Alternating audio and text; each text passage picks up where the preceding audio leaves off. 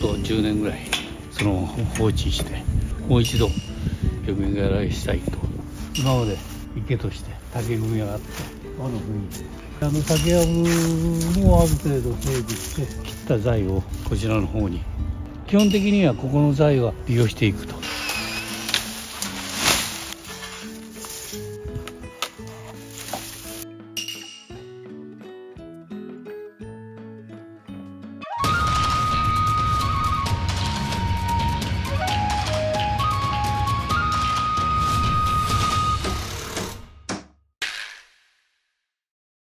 おはようございます。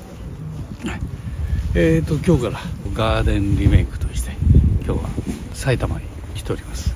一応ですね敷地が結構広くてですねお客様がおじいさんおじ様から譲り受けたまあこの敷地をまあそのまま大事におじ様が育てて植物がねなんかお亡くなりになってまあちょっと10年ぐらいその放置してだけどそれを生かしていきたいと。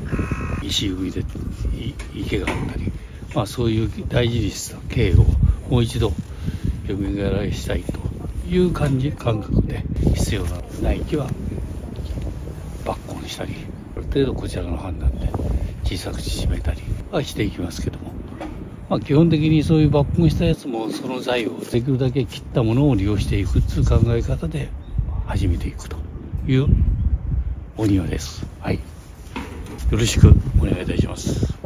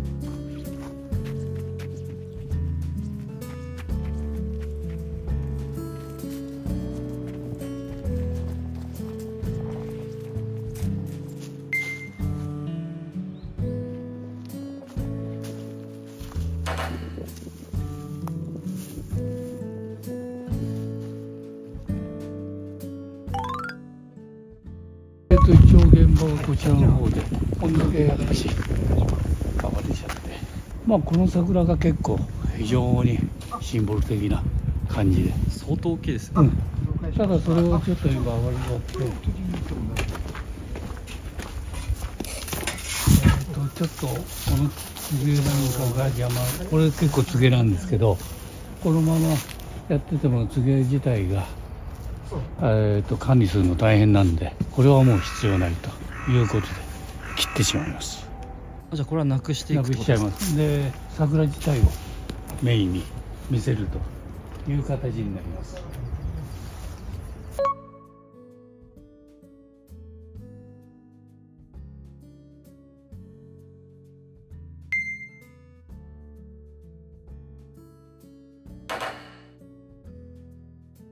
で、あと入ってきた状態において、これが今まで池として竹組みがあってあの雰囲気で。作った庭です、まあ、これをちょっと呼び返らしたいという今回はここれをちょっときれいに整備してもういらない木は切ったり剪定したりそういう形を整えていきたいと思ってます。やっぱり木が大きく成長しちゃったりなんかねね、形がちょっと乱れてる部分があるんで、もう一度ちょっと見栄えの利く形に、まあ、手を加えるという。だから綺麗にね、整備して、あの、してあったんじゃないですかね。まあ、それからちょっと長年放置したまんまだ、こんな状態になってしまったと。まあ、これも、えっ、と、きれいに草を取って、ちょっと石を出したりして。まあ、あとちょっと経営的になんかポイント的に入れるかも分かりませんけども。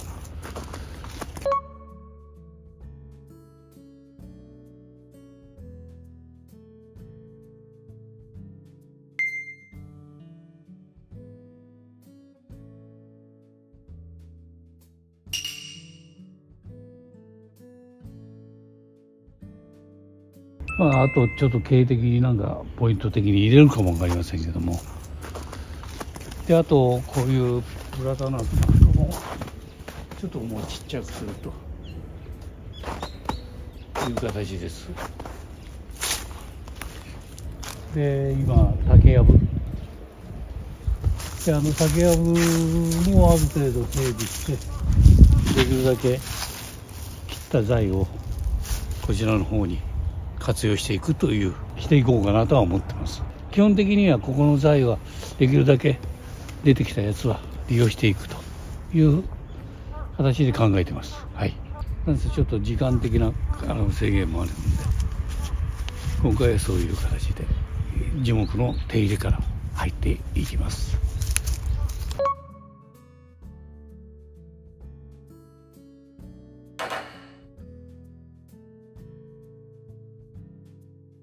あ一応ですね。枕木もあのまあありまして。まあこの枕木なんかもあの利用してほしいっていう形なんで枕木も利用したり今回は第1弾という形になります。はい。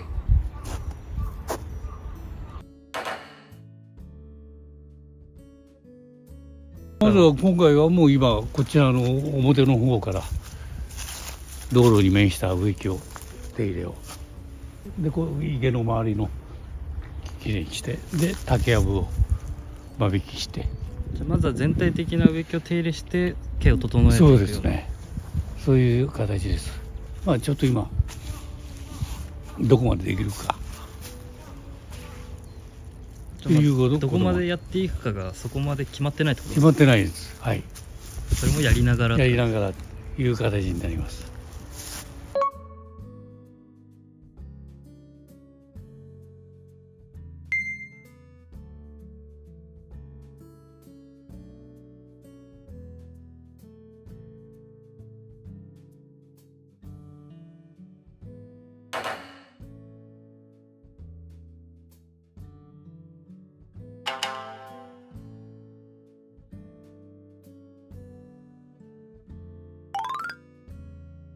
えー、と今回もですね、えー、と一応あのカナイスタイルラボの、まあ、受講生の方協力さ協力してもらいまして、まあ、作業を始めていきたいと思っております。えー、と前回、えー、と茨城で、まあ、卒業しましたあの渡辺さんもちょっと一緒に参加してもらう形にもなっておりますで今受講していただいている高橋さんが一応、えー、と埼玉なんで。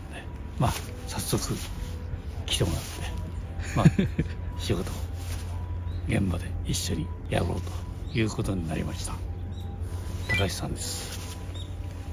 高橋さんは普段どんなことをされてるんですか、普段はあの植栽管理をメインになってまして個人宅のお庭の維持管理とか、あと分譲マンション霊園墓地のですね植栽管理なんかもやらせていただいて株式会社ガーデンファームファクトリーっていう名前で埼玉県の上尾市えーでやらせていただいてまして、まあ、創業8年目になります。はい。でそれで養成講座を受けられたということなんですね、はい。受けてます。じゃあ金井さん今回たまたまじゃあ埼玉だったってことで高橋さんそうなんですよね。だからなんかね巡り合わせで渡辺さんもそうなんですけど受講してる間時に茨城で仕事が発生しましているじゃんって。それで今回はもうあたあ高橋さんだでまあ OK いただいて早速来てもらいました。高橋さん入られてじゃあ即もう現場にって感じになった。まああの講師はね考え方はないないなんですけど現場でいろいろとあ一緒にやっていけば面白いかなと思って。はい。ご苦労様です。はい。じゃあよろしくお願いします、はい。お願いします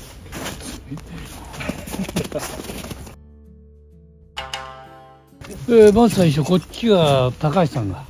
伐採鈴木さんと俺たちはこの池のあれをやっていきます。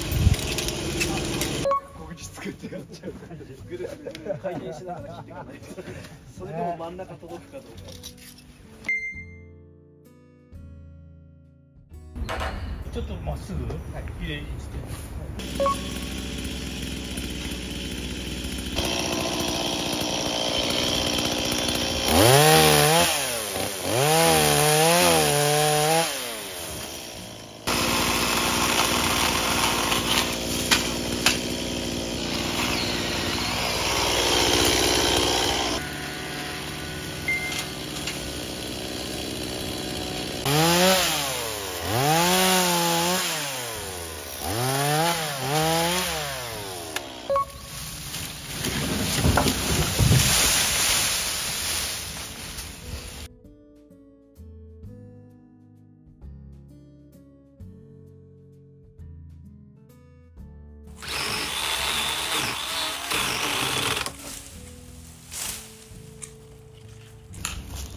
邪魔してるから白頭先こちこっちに倒してもらえれば。これ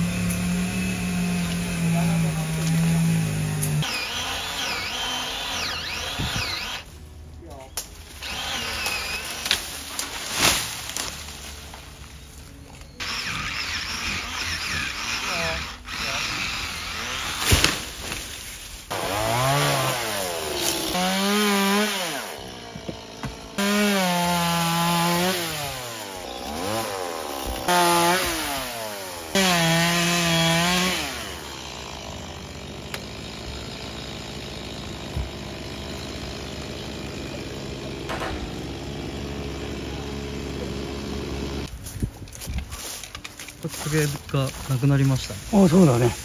もうつげちょっと残しといても多分日陰になっちゃって今桜がやっぱし堂々とねこんだけ。さっぱりした。はい。でもこれ桜を際立たせるためというかそうですね。ほんでまあ建物を今度は解体する時の広くここをもう駐車場で広くしたいっつう提案があるんではい。空間的にも明るくなったと思いますはいだからこういうちょっとわ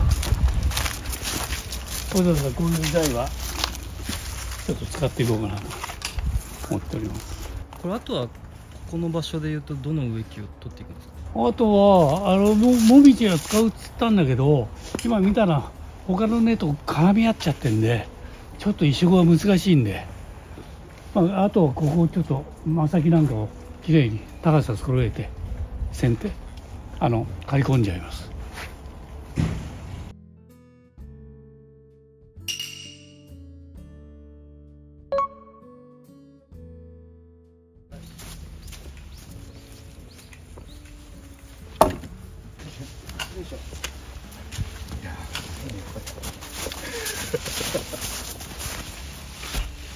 持ってみます？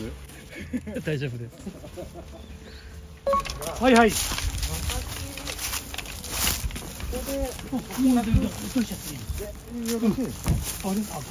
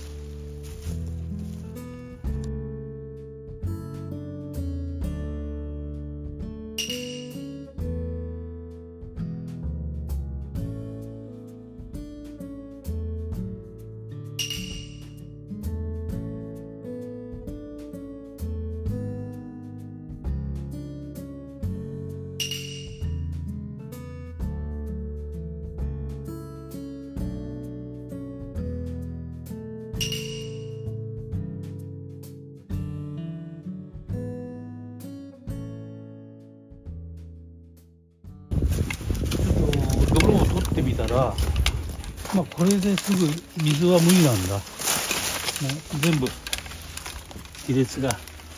入っちゃって床も。あじゃあもうこれは水溜めれない状態今のこの状態じゃね。こっちの高さに行くとここまでやっぱし水が来ちゃうんだよね。そうすると全部。相当。もうこうこうやって亀裂が。入ってでそこから水が逃げちゃう。でもう完全に逃げちゃうんで。だからここが竹口になってここから水を流したい。そんな形跡があるんです。だから最初はそういう感じだったんじゃないかな。まあもう一つの考えではもう石をず外しながらいちょっと縮めていく考えもできる、そうなると大掛かりになっちゃうあの排水関係もないんで出てないんでオーバーフローで水逃げるっつうあれも見当たんないんでこれとこれなんかは割れちゃってはない。石橋ここの天場に乗っかってここにあってでそれもそういった形跡がある。形跡がある。これが今石を置いてここに乗っけて。今なんか流々に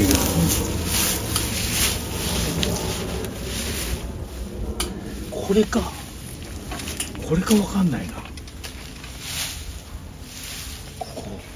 そこが排水になって排水にしてな。高さ的に